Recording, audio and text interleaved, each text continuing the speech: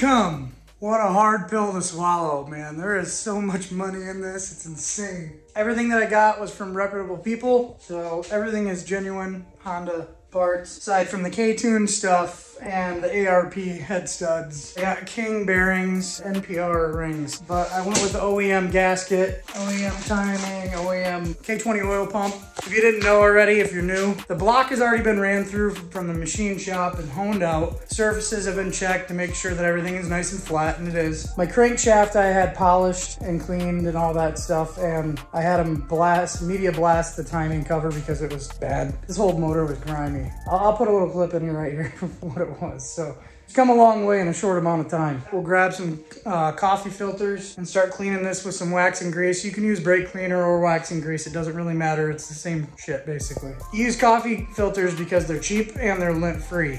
I mean, they better be lint free. They'd be kind of messed up. Have some coffee and get a big old mouthful of lint. They are Dollar General coffee filters, so who knows. Let's do it. Let's get into this. Let's get this thing all prepped and ready. Now we can start getting our piston rings all set. These gloves are trash. I don't know where my other ones went. Way too small. First things first is the rings, which my UPS lady crammed in the my mailbox with a whole bunch of other stuff. So hopefully she didn't bend anything. The oil, first and second. This is is just a ring setter. Get the ring in there evenly so that you can actually measure it correctly. Because if you just shove it in there and it's cockeyed, you're not gonna get the right gauge or right thickness with your feeler gauge. Bam, now it's perfect. Take it out. These are like 15 bucks on Amazon. I'm gonna leave links for all this stuff on here, but this helps you guys out and it helps me out too. So it's just a referral link that benefits me too. So I'm helping you, help me. Help me help you. For all my torque specs, the ring gaps, everything that I possibly could need for rebuilding this engine, I'm using eManual Online. It's essentially like ALLDATA, but for a lot cheaper. I'll leave a link in the video description for you guys.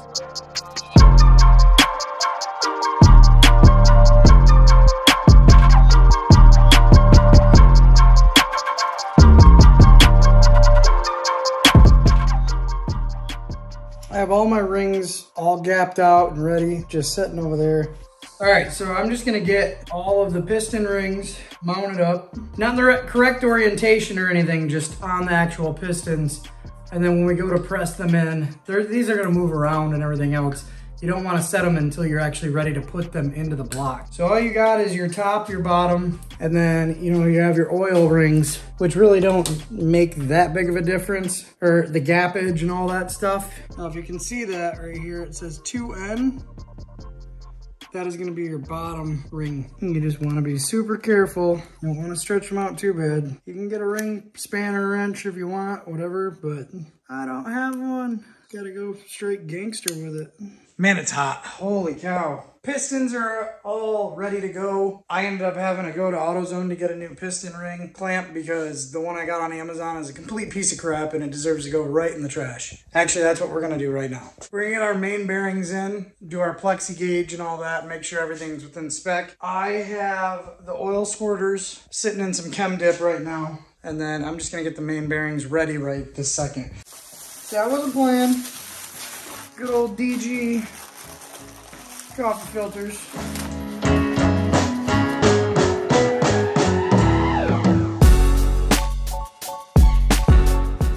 You'll know the difference between the mains and the rods because the mains are gonna have an offset groove. You just wanna give them a quick little clean off before you install them on the back side at least. I wouldn't suggest putting any lubricating oil behind it because you need these to stay in place. And when you're checking your thicknesses, your tolerances, it can potentially change that tolerance. So I just put them in dry. I'll lube the inside, not the backside.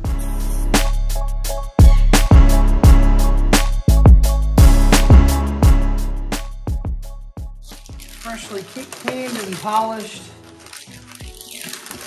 crank.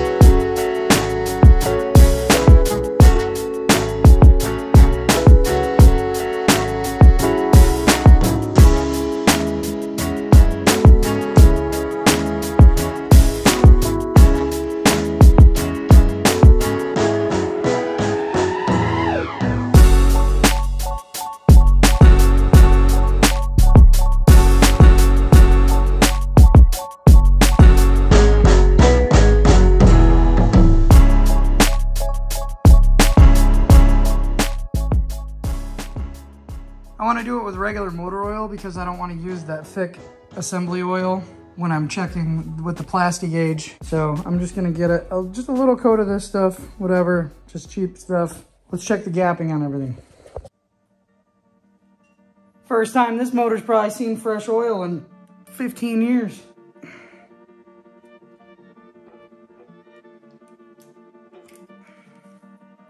There's red and then there's green Plastigauge. Since we're working with Honda, it's in inches, you want the green one. You can get these at Amazon, O'Reilly's, whatever.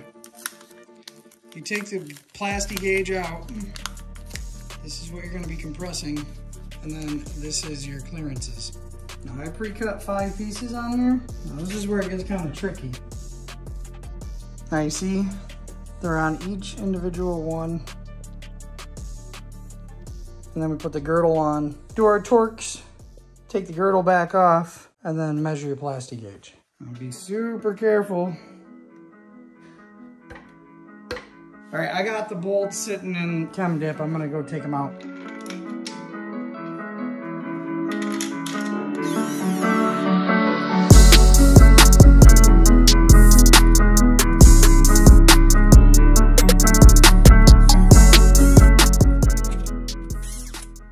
Specs are 22 pounds.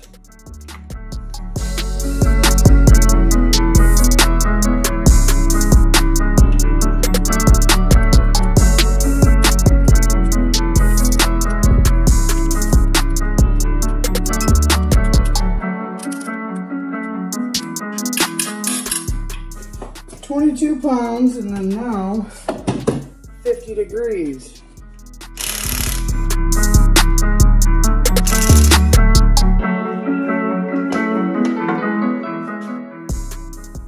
It did its job.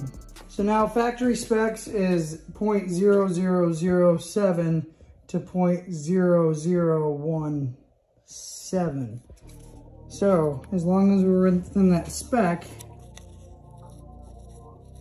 I would say that's probably 15. This one kind of smeared a little bit, I think. I would say that's still 15, maybe 16. Middle journal is different. I'll get back to that one. Gotta look that up. Good, good. The middle is 0.0010 to 0.0019.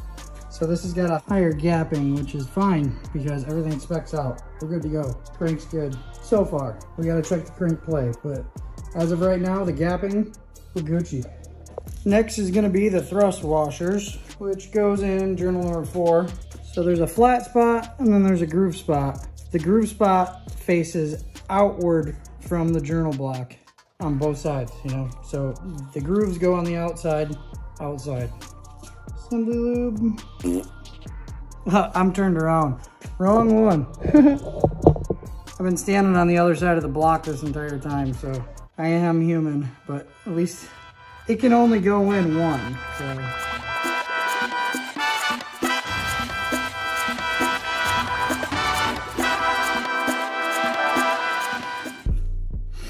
Bearings are done. Thrust washers are in. Everything's specked out. We got to torque this back down to 22 and then 56 degrees, which you're not to be able to see. Like I said, I'm just using the compass on my phone. I got to post this up against the wall so it doesn't move and then do it. It's kind of janky, but hey, get everything torqued out and then we can start working on the pistons. But since this is the last time that we're putting this girdle on, we have to put RTV on here. So there's no gaskets for this.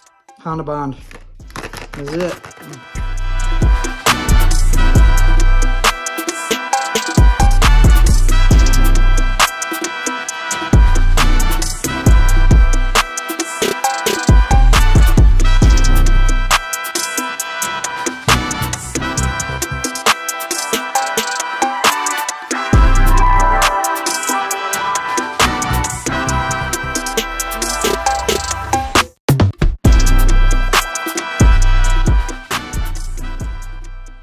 Well, I'm already here. I'm gonna get this oil plug out. Bam. You gotta take that off if you're gonna do a K20 oil pump. It's a 12 mil. I don't know what I stole it from, but we'll figure it out later. Throw some RTV on it. Just send her home. Good to go.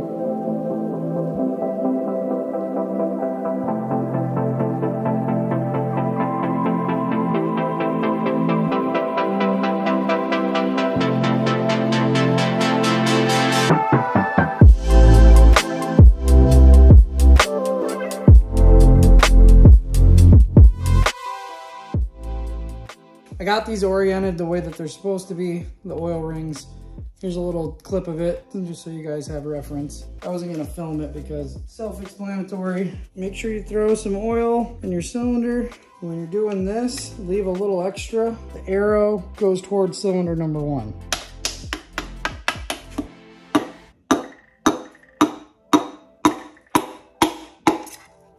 Like butter, baby.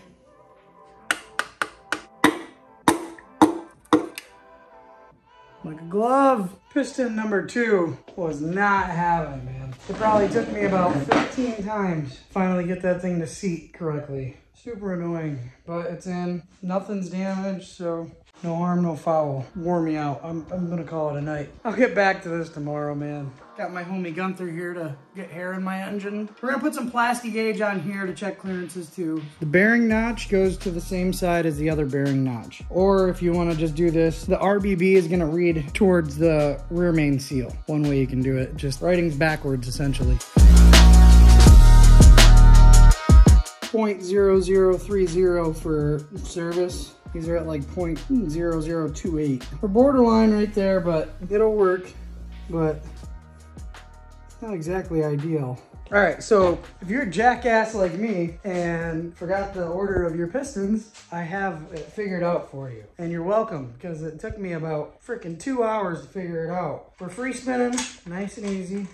This ratchet sucks. It has nothing to do with the engine. So if you forgot the order of your end caps, because really that's what matters. Your end caps are the ones that need to be in order. So if you have the same exact, I don't know if it's all like this, but the ones that, or this is from an 08 TSX. So RBB 0.06, RBB 0.06, and both of these have those little dots right here, right? Those are the middle ones. Rotate it.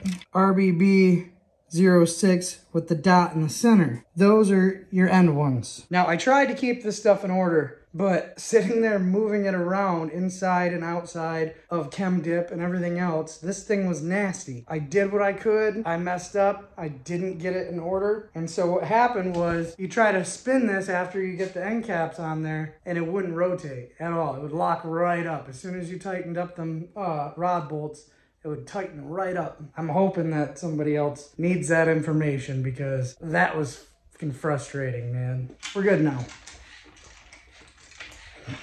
just a little embarrassed, that's all. But during that frustration, I didn't film me doing the, the Plasti-Gauge on this. I'll still provide the information for you guys. Same concept as doing the main bearings. You just put them on your under your end caps and do the same exact process, and that's it. But all these measured out fine, good to go. Oil pump time. I'm not excited about grinding this down. But in order to get this K20 pump to mount up, you gotta cut all this stuff out. I'm sure you guys have seen this a hundred times, but can't find a marker, so I'm just gonna use tape so I know where to stop grinding at. So I'm gonna tape off everything that has a port. Metal shavings could get in. I would have cleaned up this a little bit better, but something happened with my air compressor, like the electrical part of it, I think is fried. That is what you need to do. I kind of nicked it right here on accident, but it's not gonna hurt.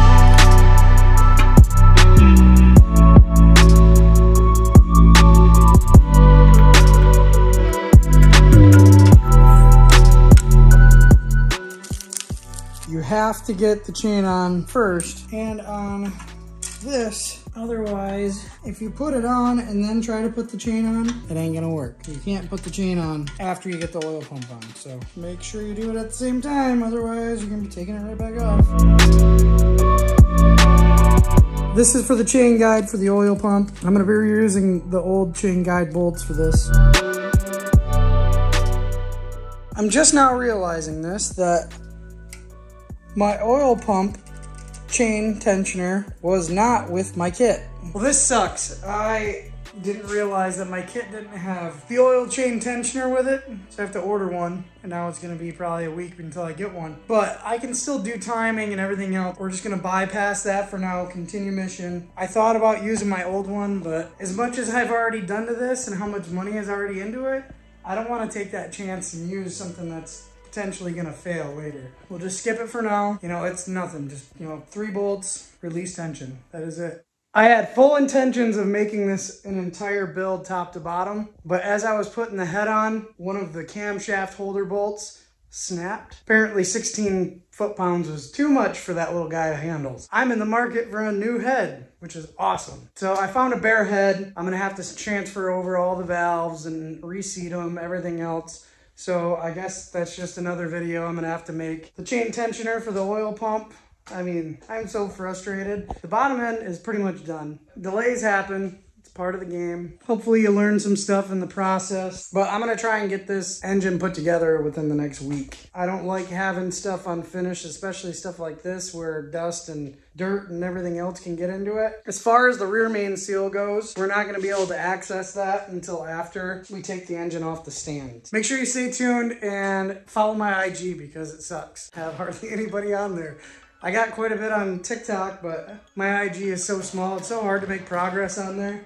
So if you would, please go follow that. Uh, I'll see you guys in the next one.